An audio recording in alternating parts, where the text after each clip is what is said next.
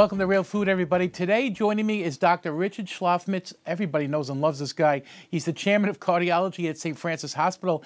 Dr. Shlofmitz, one time I introduced you at a board meeting at Catholic Health Services, and I said, this guy is like Babe Ruth. He's one of the famous players that we're going to remember forever for his contribution to what you've done in our system and what you've done at St. Francis Hospital. And I really mean it. You're unbelievable. I mean, you're a guy who's been there how many years? My 34th year. 34th year. Caseload a year, generally speaking. Over 3,000. 3,000 a year. And by the way, everybody who goes, they get your cell phone number, right? Yeah. And it's not like you have 50 cell phones, you have one cell phone. Just one. I mean, you're an incredible guy. I mean, and you're still loving it and right at it, right? Well, thank you for having me. Here. It's an honor to be with I, you. It's I, believe me, I love you. I'm so glad to have you. Thank and whenever you're on, we get tons of people who tell us that you're on. I know you get it too, right? Thank you. It's a wonderful thing. I'm so glad to have you. And thank you so much for what you've been doing. It's my pleasure. Interesting times, right? We've come through this bad kind of moment of coronavirus, but in the midst of it all, you've been very involved too, right? Sure. I mean, it took us all by surprise, Monsignor, and it was a situation where we had no idea what was going to hit us. Yeah. And it hit us really bad, as we all know. But we all stuck together and we, we came through it. You know, at one point, 95% of St. Francis was COVID patients. Wow. and our staff had to be retrained how to take care of them. We were doing different things. I'm an interventional cardiologist. I basically was a social worker calling families every day since people couldn't be with their loved ones. Amazing. We went through tough times, but everybody had their PPE. Everybody had a ventilator. Everyone had a CCU. We had food and electricity. And we came through it. And right now, St. Francis is probably one of the safest places to be. We check everyone for COVID. We, we have sentries checking staff every day. We have less than a handful of COVID people that are sequestered very carefully. So we're doing everything we can now, Yeah. and we're back to normal business. Incredible. And we're ready just in case it happens again. We're ready now. It's So- amazing. It's terrific. And I mean, uh, one of the things I love about the work that you do is that there's a lot of hope in what you do. You know, um, you lose very few patients um, because you're so darn good at what you do, and and the way the heart technology has advanced. It's amazing what can be done now. I mean, it's not like it was 25 years ago, even, right? If you think about it, we could replace a valve in your heart and you go home the next day through the groin without a stitch. It's incredible. I could put a stent in an artery where previously you needed bypass surgery. You go home that day and you're back playing tennis. It's incredible. What we can do is incredible Yeah. with defibrillators, pacemakers, heart failure, angioplasty, open heart. Cardiology is a great business to be in because you, you help people right away. It's instant gratification. Now, coronavirus, not so hopeful. No. And that's a big change. Well, you know, none of us knew what to do with Corona. Everybody was an expert, but I always told people nobody really knew what they were doing. We were doing the best we could. And the key with Corona was don't get it. You know, you have to be smart about social distancing and everything. But we're getting there. We're learning things, and there is hope for the future. There will be a vaccine. And if it happens again, we're going to be prepared. Yeah, it's a different story now because we've walked the road together, right? Something about that. Now, you were saying usually this time of year you would be in the south of France? For 26 years, my wife and I, that's my only vacation, the beginning of July, we're in the south of France in an incredible place along the Mediterranean. Wow. And this year, obviously, we weren't traveling places. Sure. And when I went to do this show, Dr. O said to me, Rich, you're always making steak and French fries and Which I love. things that are bad for you. I way you love that. But we all put on the COVID 40, Yeah. sitting home, not having portion control. So he said, I really want you to do something healthy. So what I thought I would do is make something healthy, but also bring you to the idea of what I would be experiencing if I was in the south of France right now and what the French at the seaside resorts and hotels and just the people in general, What a great idea. how, how, what they eat there. Oh, that's awesome. That's great. So, what do you? ha- and What did you bring? I mean, you have a lot of nice ingredients. here. It's so colorful. Yeah, so that's the key thing, colorful. It, when you picture the uh, Impressionist painters in the 1800s, they all were in the south of France. If you go to restaurants, they're actually, their paintings are in the restaurants. That's how they paid for their room and board. Wow. It's incredible. Wow. But everything is about color, whether it's um, water lilies or um, flowers or fruit or ve- Everything is about color, the beautiful seaside, the mountains. And this is a Niçoise salad after Nice, Niçoise, that's how they Sure, pronounce sure. it. And the nice thing about everything is fresh. When you go shopping in France, there were little markets, outdoor markets, like you could picture in the early 1900s, 1800s. And you go that day. The refrigerators are very small because you cook every day. Every day. That day. You don't have anything frozen like we did during COVID. Yeah. You go that day to the market, you pick out what's fresh there, and you put it together. And it doesn't look processed. A lot of this. This is all. So I tried, and each thing has uh, um, a little different than what we have in America. Mm-hmm. And I'm going to take you through each thing. Um, so the first thing is you're going to want lettuce as your base. Sure. So we have lettuce. I used a Boston lettuce, even though it's Boston, but you want a flat lettuce that's going to be able to incorporate the dressing and the ingredients. Mm-hmm. And we put that as our base. And then you try to arrange things symmetrically. Now, we have here French green beans or haricot vert. You say, well, what's the difference between a French green bean and an American green bean? Yeah. First of all, you note they're thinner, Right. I they're noticed that. crunchier, Yeah. right? And what you do is you just steam these for a couple of minutes Uh-huh. and then put them in an ice bath so they retain the color. color, yeah. With a little lemon juice and salt, kosher salt. And you get these wonderful crunchy green beans. Isn't that So we're going to start with some haricot vert. And they definitely taste different than your American uh, green beans, your green now, are they available like at the at the good supermarkets and These stuff? are available. Some of the things I'm going to be talking about are not available. Okay, okay. So I'm going to arrange these in order, and you want color and symmetry. So we're going to put them opposite each other.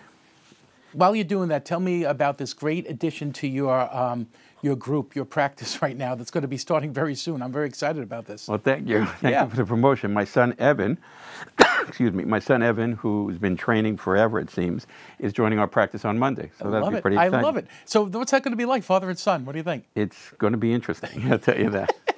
I love it. well, we have our green beans in, our haricot vert, and now radishes. This is a good, healthy thing, and it's also it's giving you color. So important. So we have our radishes, our haricot vert. Now, tomatoes. We have some little cherry tomatoes. Now, the key with tomatoes, any tomato, as you know, is you want to salt it. The salt brings out the flavor. Mm. Yeah. So you want to salt your tomatoes, and that really makes them taste great. And they look beautiful. They're like little baby heirlooms. They're beautiful with the colors and everything. That's what we want. This we want this to be symmetrical, colorful. Just makes you want to eat it, and it's so simple to do, right? Yeah, I mean, and again, it's, it's, it's kind of like this would be like a lunch. Would you get? would It's you- lunch Yeah. with a little rosé. You're sitting by a little port. There are Yeah. like 20 ports from Monaco to Saint Tropez. Every five miles or kilometers, there's a little port town. Each one's a little different. yeah. Five miles up, there's a mountain range, these medieval ranges. Wow. And each day we'd go to a different place. We'd either have lunch by a port and then go up to the mountain walk around. Beautiful, beautiful. So- and I'm guessing a baguette gets involved here somewhere, right? A lot of baguettes. I would think. Yeah, this is. So now we're going to give you a little protein with some hard-boiled eggs. And eggs are, are not bad for you. I know sometimes people have negative connotation about egg, oh, the cholesterol. Mm-hmm. It's tremendous amount of protein. And you're going to notice here, I'm not having any carbohydrates here. I noticed that there's really no You- carbohydrates. Usually yeah. you have some boiled potatoes, but Yeah. because I gained some weight, I'm keeping the carbohydrates up. And if you do that, you certainly are going to get your weight down. But right now we have all protein, a lot of vegetables, a lot of nutrients here. Everything's going a lot really of well. bulk too, you know, to fill up. So Absolutely. It's good. Now these are Niçoise olives. They're different than your green olive. Uh-huh. This has a nutty taste to it, almost a hazelnut or an almond taste. They're really good. It's, it's very tasty. They're salty. I love these. These are pitted, so you're going to have to be careful when you eat them, not to uh, take your teeth out. I Oh yeah, sure, sure. took one of my teeth out the other day, Uh, and I had to get a new cap because I bit into this olive. But these are great, great olives, They're and they're from Nice. You can use them for olive oil or olives. So now look at all the different colors. yeah, it's now, beautiful. these peppers are just some sliced peppers, which we have here more for color and crunch, but they're just making things look interesting. Yeah, it's beautiful. And and peppers are delicious. They're wonderful too. Right. Now, um, capers. Some people use anchovies. I'm not a big anchovy fan, so for a little saltiness, I'm going to sprinkle some capers here. And that's very traditional in French cooking. Yep, capers, right? absolutely. Yeah. Okay. And here's our tuna. Now, the tuna I use is not bumblebee. The tuna is from actually Italy. You say, well, why are you using something from Italy? You're talking about France. Well, what's great about Europe is that Italy, France, and Spain, all along the coast, Sure. it's a, a half hour, hour drive away. Yeah. So whatever you can get in one community, you can get in the next. So Because we here- always think it's eight hours away, but a plane ride, drive. but not at all. So this is some fresh tuna, which is just wonderful. Really is great mixed in with there. What I like about that too is it actually looks like what it is. It, It looks looks- like tuna, right. you know, which is It really does. When you get it in a little can, it doesn't look much like anything. So now we're up to the part of our dressing. And you don't need anything fancy for the dressing. We're going to use some olive oil. I like to use the olive oil from Spain. Yeah, it's really olive oil. great olive oil. I'm using Goya. And I'm going to use Nice rich color on that too. beautiful. Now, when you're giving people advice in the office, I mean, are you recommending this kind of stuff? You know, people always tell me about you, Dr. Shlofmitz. You're not a finger shaker. You're not one of these people who says no more ever, ever again. You know, that I like to be realistic. yeah, yeah. So here's our olive oil. So it's simple olive oil, and you're going to say, okay, where is the vinegar? Well, vinegar gives you acid. I'm going to use lemon juice. Lemon's wonderful. Yeah, So instead of vinegar, we're just going to use lemon juice. that's beautiful. And I'm putting it in here first so that when I have any pits, You can fight them off. I can fight them off. Yeah. So we have our olive, our lemon juice, Beautiful. and salt.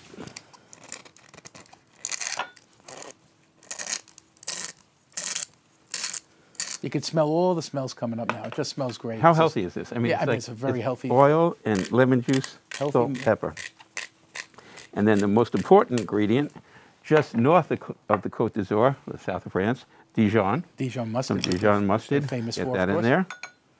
Now, is it different? Is the Dijon a little different in France when you're actually there? Because we buy this Americanized kind of Dijon. What do you think? There are several different varieties, mm-hmm. but th- they're you can get this. Pretty you know, close, yeah. In 2020, you can get anything from Anything you anywhere. want anyway. Yeah, thanks to the internet. Look what we got from Wuhan. Yeah, exactly. Well, yeah, thanks anyway. All right, so here's our dressing. That's it. Wow, right? look how And nice. then you're going to pour this around here. It just smells great. It looks fresh. What a beautiful dish, huh?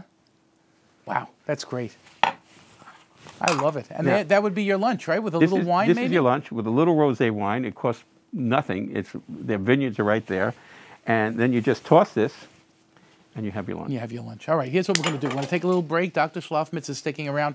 We have a lot to talk about. Stick around. More real food right after this. The Catholic Faith Network Green Room was provided by Lane Office, your workspace built with integrity.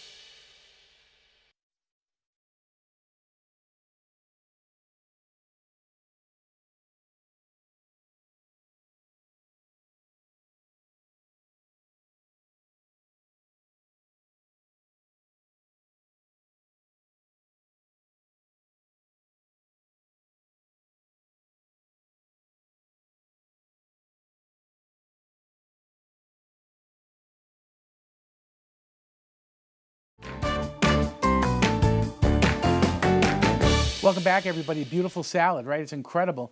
Now, one of the things you and I were speaking about, Dr. Shlofmitz, during this coronavirus time, is you you got in touch with me and you say, "Listen, I want to do a special. I want to do like a video special, like a, almost like a telethon." And you're explaining this to me, and I'm like, "Yeah, this is going to take like a year to plan. I mean, this is an incredible amount of work that you want to do." And then next thing I know, you know, you're interviewing me, and then next thing I know, it's done. I mean, you pulled together something that takes, you know, a year and a half, sometimes a, a year and 10 months to plan. And you just did this like in a couple of weekends. And it's all for a tremendous cause. So, can you tell us about, first of all, how it happened and, and what it is? Well, I like to be busy, and uh, my office manager made a comment. It takes a pandemic to slow me down, and uh, you know, I knew there was a tremendous need financially and mental health for people to get together. And I'm fortunate. I know a lot of people in different areas, whether they're celebrities or athletes, or colleagues, clergy. So many different people who want to do something to help. Everybody wanted to help. Sure. And I went to people I knew, people that you know, Susan Lucci, an amazing person, Yeah. Ed Kranepool, some of the nurses and respiratory therapists in my hospital, the Karate Kid, Ralph, Ralph Macchio, Macchio, sure. yourself, Dr. Gersey. There were so many people, colleagues from Europe, giving a European perspective. And I said, could you give me five minutes of your time? Nobody said no. No. Everybody said yes. And it wasn't scripted. We just did this talking to each other. You did it with me. You know, we just Yeah. talked. Yeah. And I tried. Oh, I had Mike Francesa, another great guy. Yeah. So we had all these wonderful people, and I tried to have them talk about their experience, how they're handling it. People want to know how everybody else was handling it. Mm-hmm. We were in a time where it was unknown. The scary part at that time, now we're past it, but the scare, we didn't know what was on the other side of the door. It's true. It's true. And not know, and we wanted people to tell us. Yeah. Yeah. We wanted a calming effect. And I thought that A, by hearing all these people from different walks of life and bring it to the community, will give some peace. yeah. Yeah. But also, hospitals around Long Island, and that's what it was called. It was Long Islanders for Long Island. Mm-hmm. We needed to raise money because we didn't know if we were going to get money from the federal government. We, weren't, we were losing money. Everything we were doing was a loss leader. Sure. So we raised money, and it was done within two weeks. Two weekends and a couple of weekdays. And you know, I, I think you're going to show some of the clips, little clips of different people, and each one is interesting in a different way. So it was it was really a, an undertaking that I never did this before, and thanks to these video conferences that we now are used to, yeah, sure, you're able to do it at home on a computer, and uh, it, it's amazing. We're going to show a, a, clip now that kind of sums up some of these people that Dr. Shlofmitz is talking about. When we get back, though, we'll talk about how you can help too. So take a look at this. Hi, everybody. Um, I don't think I need any introduction here. This is the king of queens, if you will. You'll always be the king of queens to me. I, I like was the king of hearts, so we're working together. But uh, this is Kevin James, who's nice enough to uh, talk with us today. When I met Kevin the first time, it wasn't a, a, a pleasant time. Uh, his mom was pretty sick, and Kevin's mom was had so many complex things wrong with it. God, you know, God willing, she did well and, and, went home and is fine right now. But at the time, there was so many things going on with her. And when you speak to some patients' families, you never know how they're going to react. And the one thing that was impressive, I mean, Kevin James, a big famous guy, he's someone who didn't overreact. He took all the information I gave him, integrated that information, and asked extremely appropriate, caring questions, but not emotional, you know, demanding this, demanding that. He never demanded anything from any staff member. But he treated everybody the same. And what I was most impressed about you is how smart you are. You know, I don't know anything about your professional life in terms of how smart it takes to be a comedian, but as a human being, the things that I discussed with you and you integrated it and really came up with amazing questions. I was extraordinarily impressed. And I don't know if I ever told you that, but it was very impressive. It's very sweet of you, but I got to say that really come it's it's it's your to your credit because uh, coming in uh, uh, on a situation like that, I remember the day I walked in on that, and there were so many problems. And my mother, she was beyond, you know, she was beyond gone. I mean, it was like it was, it didn't look good. I saw a look at my mother's face that I've, you know, obviously never seen before, and it was crazy because people were running around and things are going on and questions. And me and my brother were there, and my sister, and and it was you who, uh, I mean, it was a true leadership situation where you really you didn't sugarcoat things. You just said, "This is what we got to do," and it was like watching, uh, uh like Tom Brady, like a master quarterback, just take over a whole situation. And throughout that whole process, that's what blew me away about you is is how you because you had everybody from her, you know, from her liver, they had to watch her kidneys, and this and that, and each doctor's got their own little specialty that they have to work on. And you being in cardiology, which you you the way you handled all of that and our family, and I've got to say, I've never ever you know the caring and, and the phone calls and it can never be easy with any family i'm sure but it was it was incredible what you did the effort you put it in i'll never ever forget it and it absolutely saved my mom's life. Thank you. So I, I thank you. I appreciate that so I'm here with Ralph Macchio, and I'm really honored to have him on with us. You know, this is about Long Islanders for Long Island, and you can't get more Long Island than Ralph Macchio. He's a famous movie star, and you know, unlike other movie stars, he's still here on Long Island.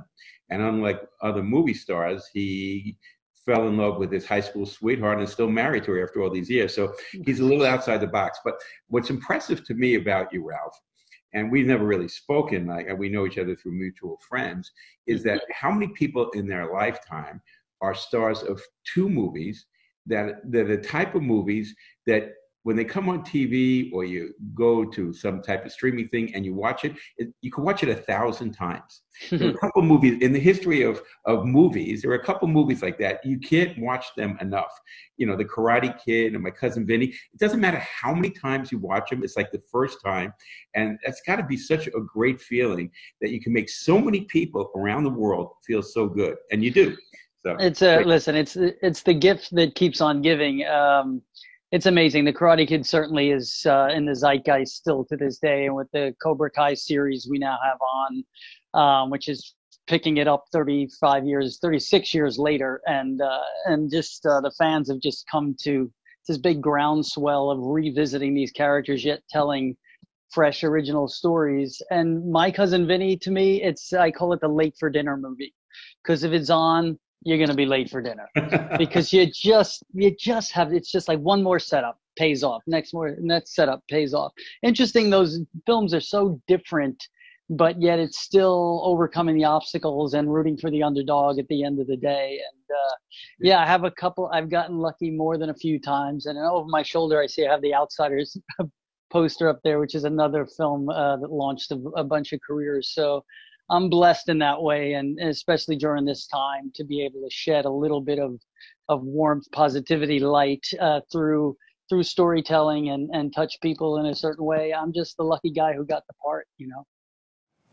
A lot of friends of CFN there, which is it was amazing to see. But people just offering some hope which is such an important thing for us all to have some beautiful stories. You know, one of the things, Dr. Shlofmitz, I think people can still view this. I mean, it's still viewable online. I mean, Absolutely. without that. So, can you tell us where they can find it to view it? If you go to um, the um, Shlof, Shlofmitz Heart Foundation, you can pull it up on a website.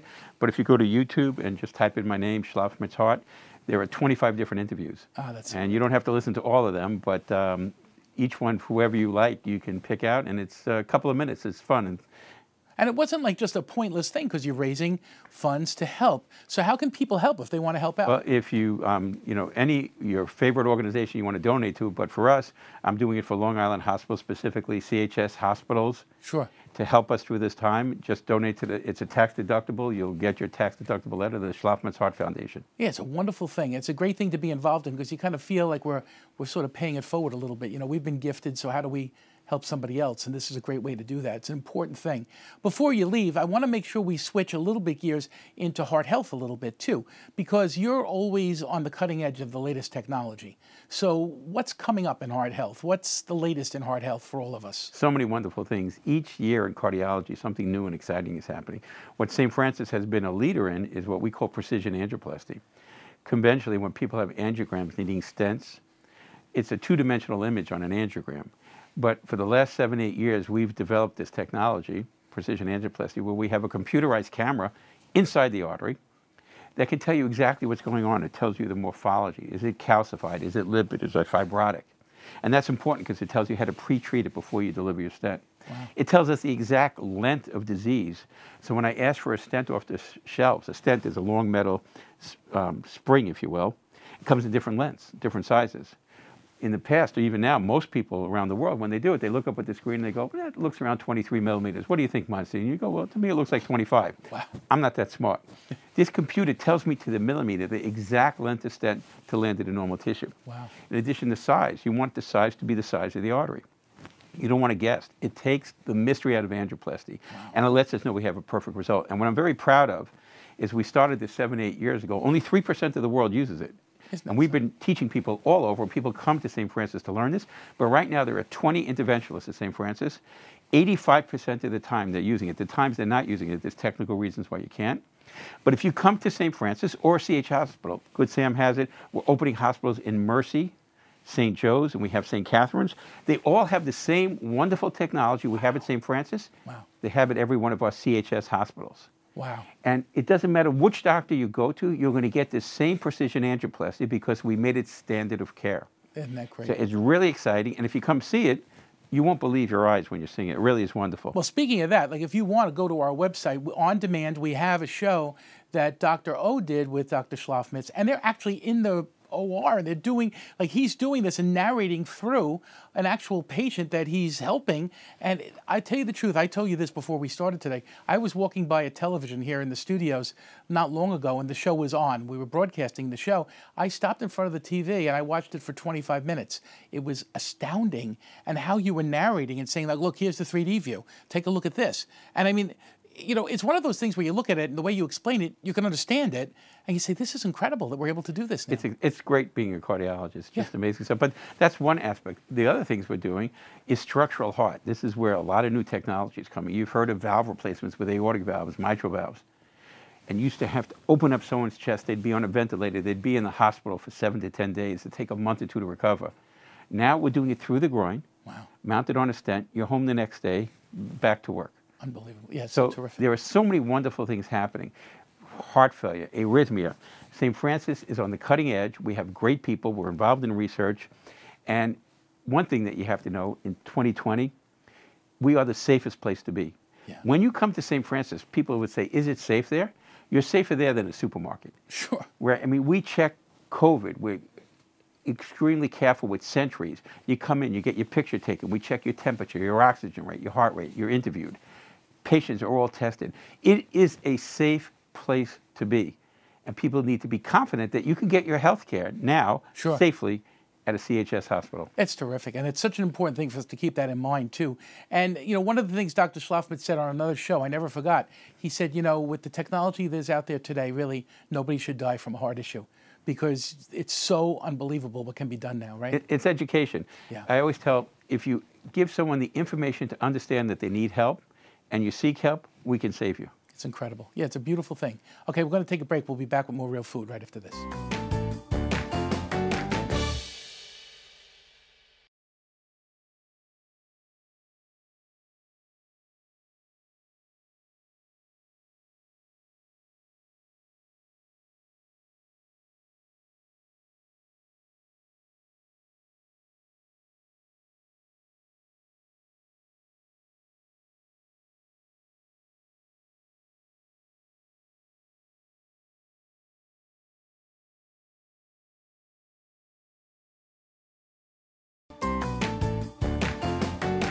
So, Dr. Shlofmitz, we only have a minute left, but a lot of websites here to think about.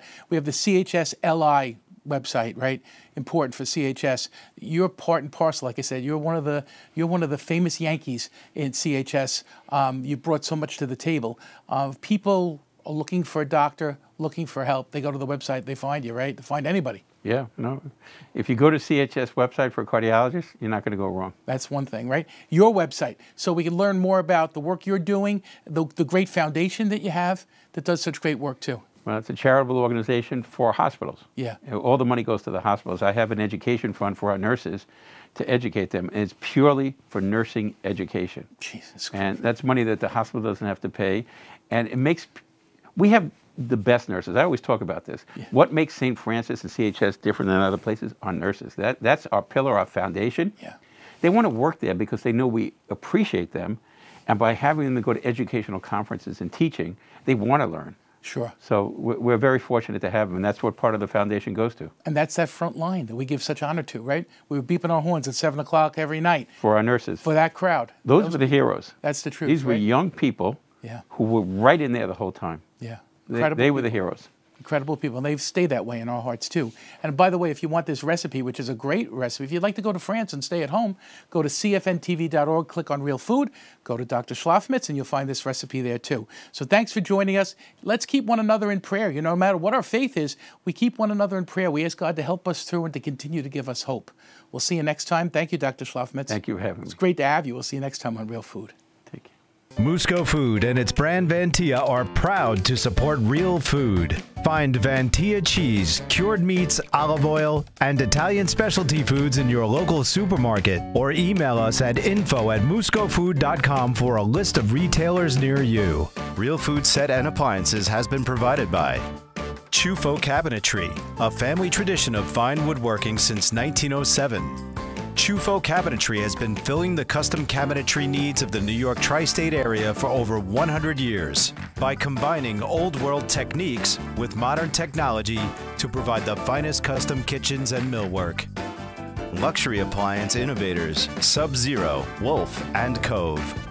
Cosentino, a Spanish company world leader in the production and distribution of innovative surfaces for architecture and design. Silestone, Dekton, and Sensa by Cosentino, technologically advanced surfaces that allow the creation of unique designs for the home and public spaces. Blackman Plumbing Supply. Visit a Blackman showroom today and let their specially trained design consultants help you find the luxury plumbing, tile, lighting, and stone products you need to make your project a success.